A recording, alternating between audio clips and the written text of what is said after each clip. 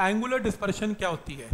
जब white light prism में enter करती है तो वो सात रंगों में जो है डेविएट हो जाती है।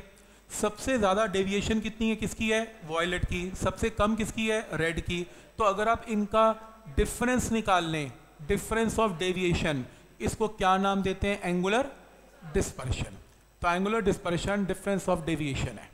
क्लियर है यहाँ तक?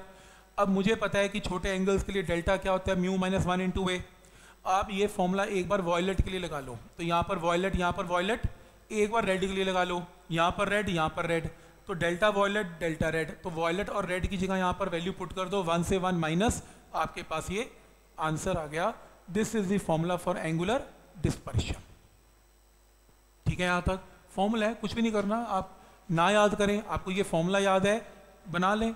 आप वॉयलेट के लिए और रेड के लिए तो बना ही लेंगे। दोनों को माइनस करके आंसर एंगुलर डिस्पर्शन एंड इसी से एक और टर्म जो है कनेक्टेड है डिस्पर्सिव पावर याद है, अभी लेंस की भी की थी omega dispersive power same result आ गया.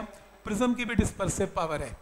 क्या है डिस्पर्सिव पावर डिस्पर्सिव पावर है, अगर आप ध्यान से देखें इसमें, कि वॉयलेट की जो डेविएशन सबसे ज़्यादा रेड की कम. और मिड पॉइंट क्या माना जाता है?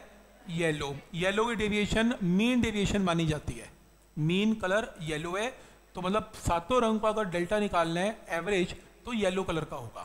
तो इसमें मुझे क्या निकालना है? डिस्पर्सिव पावर डिस्पर्सिव पावर है रेशियो ऑफ़ एंगुलर डिस्पर्शन हमने एंगुलर डिस्पर्शन क्या निकाला? Difference of deviation of violet and red divided by mean deviation mean deviation क्या है?